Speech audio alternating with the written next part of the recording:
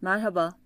Milli Eğitim Bakanlığı, Ölçme, Değerlendirme ve Sınav Hizmetleri Genel Müdürlüğü'nce hazırlanan 2018-2019 öğretim yılı sınavla öğrenci alacak orta öğretim kurumlarına ilişkin merkezi sınava yönelik Türkçe örnek sorularının yanıtlarını dinliyorsunuz.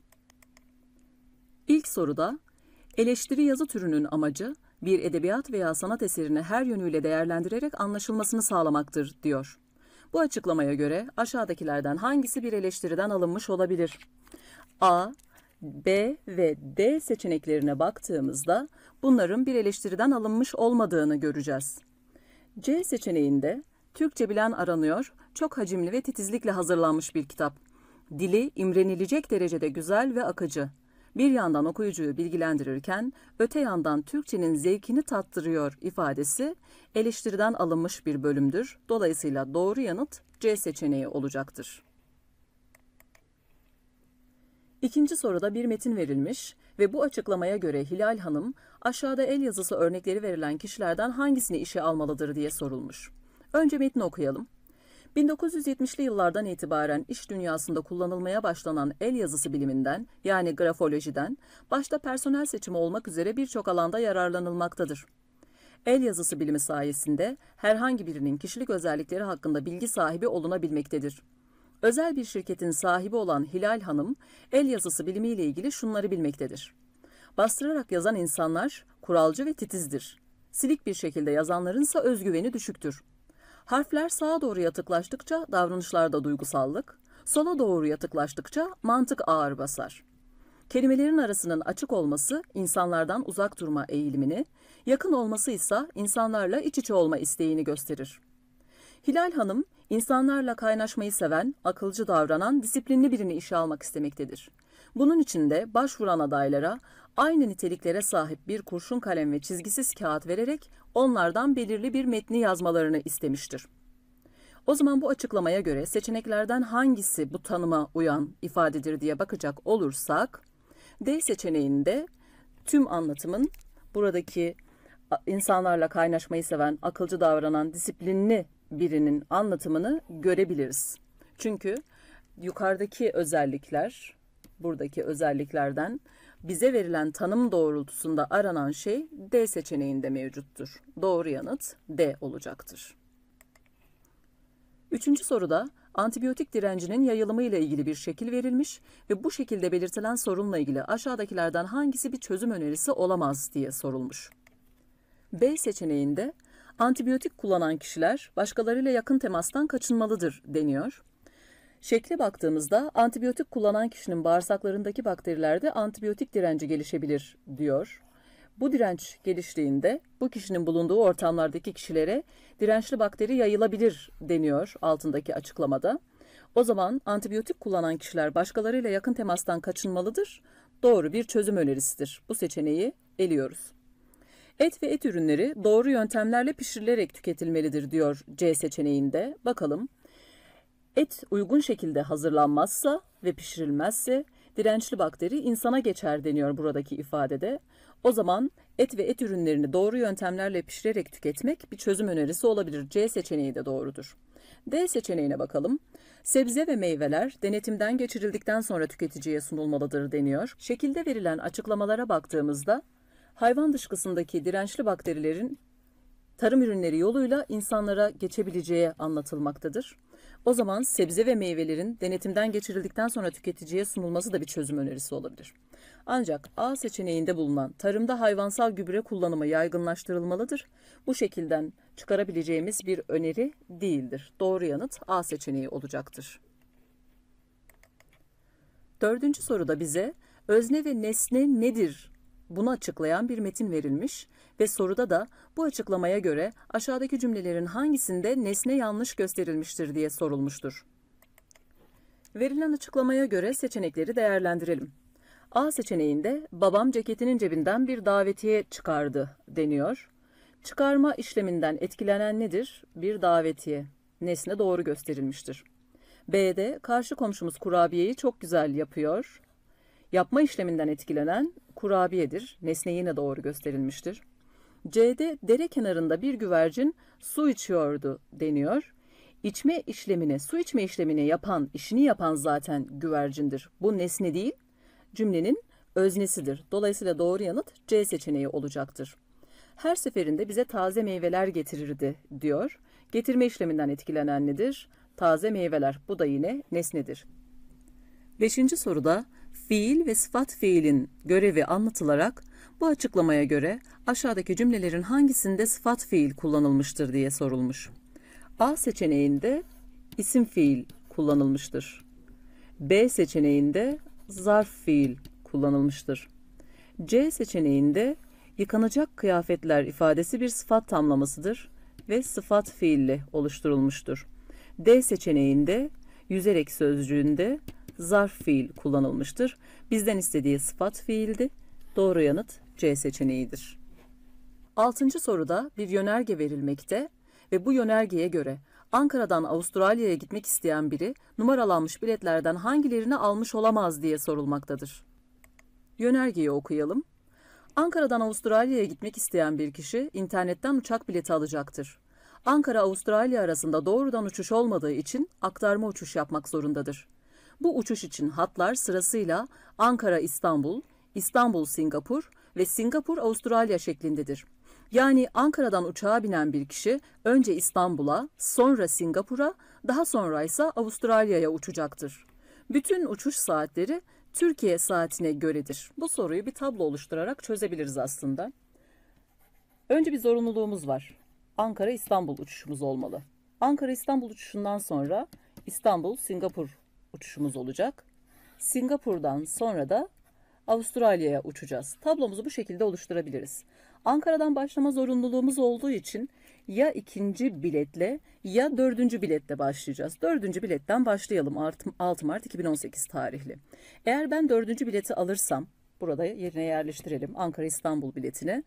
E, saat 20'de kalkıp 21'de İstanbul'da oluyorum. Peki İstanbul'dan nereye gitmem gerekiyor? Singapur'a. Bakalım İstanbul Singapur bileti yine aynı tarihte 22.30 12.30 arasında bu benim için uygundur. Tarihleri de birbirine uyuyor.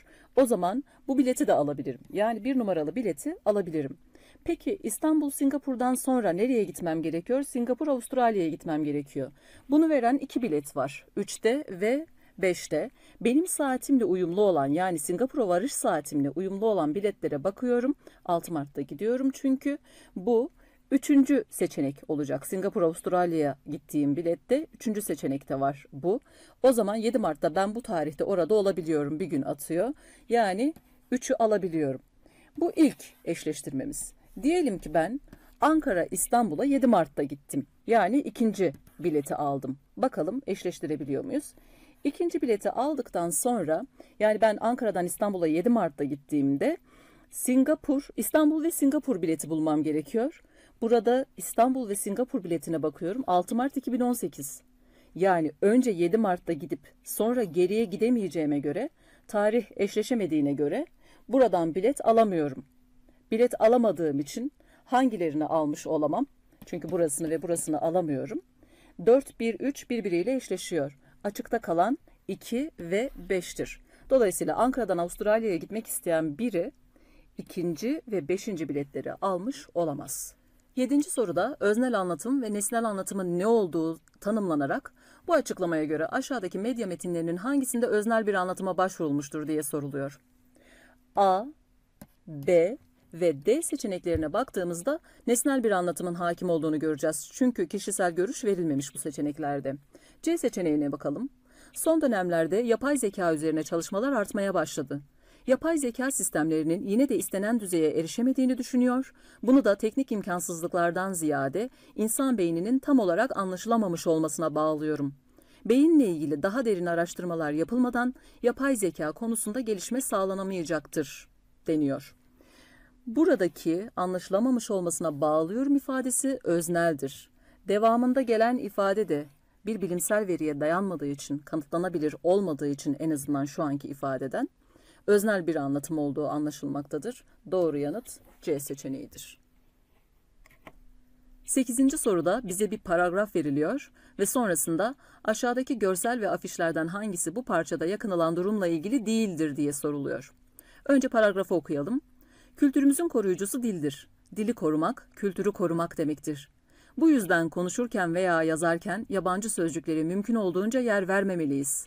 Ama ne yazık ki çevremize baktığımızda durumun hiç de böyle olmadığını görüyoruz. Çarşıya çıkmak acı veriyor artık insana. Mağazaların, dükkanların adları ya İngilizce sözcüklerden oluşuyor ya da Türkçe isimler bile İngilizce sözcükmüş gibi yazılıyor. İnsanlar konuşurken aralara yabancı sözcükler sıkıştırmayı marifet sayıyorlar. Paragrafta yabancı sözcük ve harfler kullanma tutkusundan yakınılıyor. Bu anlamı veren görsel ve afişler A, B ve C seçeneklerinde mevcuttur. D seçeneği bu tutkuyla ilişkili değildir. Dokuzuncu soruda iki metin verilmiş ve aşağıdakilerden hangisi bu metinlerin ortak özelliklerinden biridir diye sorulmuş. Metinleri okuyalım. Dinamit ağacı Güney Amerika'da yetişen ve boyu 60 metreye kadar uzayabilen bir ağaçtır. Bu ağaç tohumlarını yaymak için diğer ağaçlardan farklı bir yol izler. Olgunlaşan meyvelerini orman tabanına düşürmek yerine patlatarak tohumları 45 metrelik bir alana yayar. Maymun çıkmaz ağacı olarak da adlandırılan bu ağaçtan meyvelerini patlatırken sesler yükselir. İkinci metni okuyalım. Bitkiler dünyasının en hızlı eylemini bançberi ağacının çiçekleri gerçekleştiriyor. Eylemin hızını anlatmak için saniyeyi çok daha küçük zaman birimlerine bölmek gerekiyor. Çiçek, saniyenin binde birinden daha kısa bir süre içinde açıyor. Hesaplamalar doğruysa bu çiçeklerin açtıkları sırada ortaya çıkan basınç, astronotların bir füzenin fırlatılışı sırasında hissettikleri basıncın 800 katı. Birinci metinde dinamit ağacının tohumlarını yaymak için diğer ağaçlardan farklı bir yol izlediğini belirterek dinamit ağacıyla diğer ağaçlar arasında bir karşılaştırmaya yer verilmiştir. İkinci metinde Bançberi ağacının çiçeklerini açtığı sırada ortaya çıkan basınçla astronotların bir füzenin fırlatılışı sırasında hissettikleri basıncı karşılaştırmıştır. İki metinde de ortak olan şey karşılaştırmaya yer verilmesidir. Doğru yanıt D seçeneğidir. Son sorumuz bir sözel mantık sorusu. Spor müsabakaları için farklı şehirlere giden kişilerle ilgili bilgilere yer verilmiş ve ardından bu bilgilere göre kişilerden hangilerinin hem sınıfları hem müsabakaya katıldıkları spor dalları hem de gittikleri şehir kesin olarak bellidir diye sorulmuş. Böyle sorularda eğer tablo yapmamıza uygun bilgiler varsa soruyu çözmek kolaylaşabilir. Tablo yapmaya çalışalım. Hemen şehirleri kısaltarak yazıyorum. İzmir, Afyon, Çanakkale, Erzurum ve Rize. Giden kişilerin de isimlerini yazıyorum. Sude, Cüneyt, Elif, Defne ve Erkan. Kabaca bir tablo çiziyorum hemen. Ve sonra bilgileri yerleştireceğim. Burada verilen bilgilere göre Elif Erzurum'a gitmiştir diyor. Hemen Elif'i tabloda buluyorum. Erzurum'da işaretliyorum.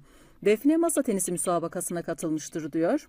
Defne'nin altına şöyle kısaca masa tenisine katıldığını yazayım. Futbol, basketbol ve badminton müsabakalarına katılanlar 8A sınıfındandır diyor. Bunu bir küme gibi düşüneyim dışarıda tutayım. Kısaltma olarak yazıyorum. Futbol, basketbol ve badminton'a katılanlar 8A sınıfında.